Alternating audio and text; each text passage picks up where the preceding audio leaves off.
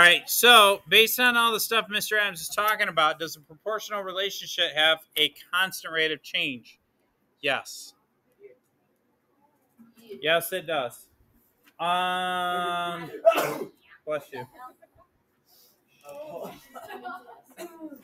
Number three, does it matter what interval you use to find the rate of change in a proportional relationship? Not really. Not really. R L O Y. Um, Yeah. Right.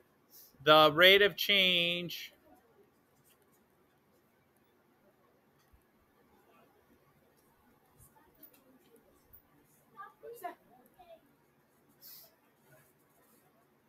is constant. So on a- if you notice on the ones that were proportional relationships, when we reduce the fractions, it always reduces down to the same number. So yeah, when we calculate this, I might get 30 over 2, but that reduces down to 15. I might get 45 over 3, but it reduces down to 15. I might get 60 over 4, but it reduces down to uh, 15.